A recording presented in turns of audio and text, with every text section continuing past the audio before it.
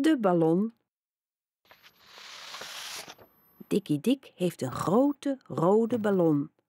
De ballon zit vast aan een touwtje. Dikkie Dik vindt het touwtje veel leuker. Goed vasthouden, Dikkie Dik. Te laat. De ballon gaat de lucht in. Blijf hier, touw, roept Dikkie Dik. Kom terug. Hij springt zo hoog als hij kan. Hoera, ik heb het! Maar nu zit hij vast aan het touwtje. Dikkie Dik hangt aan de ballon in de lucht. Hij probeert los te komen. Hoe komt hij nu weer naar beneden? Dikkie Dik geeft de ballon een klap. Met een plof valt hij op de grond. Wat is er gebeurd? zegt Dikkie Dik. Waar is dat grote rode ding gebleven?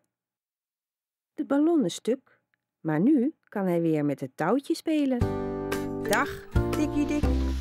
Tot de volgende keer.